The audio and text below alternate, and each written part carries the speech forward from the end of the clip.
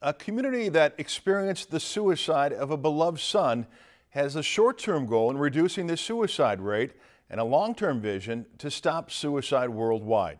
Smiles for Jake is a movement in the Brainerd Lakes area that started after 16-year-old Jake Haapajoki took his own life in 2018. The group had a major presence at the recent Lakes Jam, and reporter Hanky Hazelton tells us more. Smiles for Jake is a suicide prevention movement and believes every individual should get the proper resources to live a full life. We work to educate and promote um, hope and uh, positivity and kindness in the community.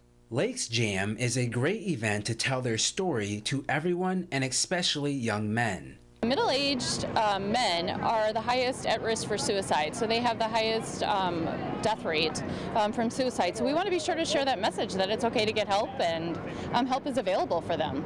Jake, a young man who died by suicide, could be someone we all know at the end of the day. I have a son that I um, permitted actually from what happened to Jake. And we need more conversation. They're not looking for fame or fortune, they need support. If a child says they have problems or their friends do not like them anymore, you need to get them help before it's too late. Even if they blame you for it, when they get admitted to a hospital, you got to do it. Whether you're an individual or a business, there are a variety of ways for you to be able to help out. Work with them to get them to the correct resources in the community. So we have uh, the community resources. We're always making sure that is shared at every event we're at. That resources, and here at Lakes Jam this year, we have a new thing called Emergency Mental Health Technicians.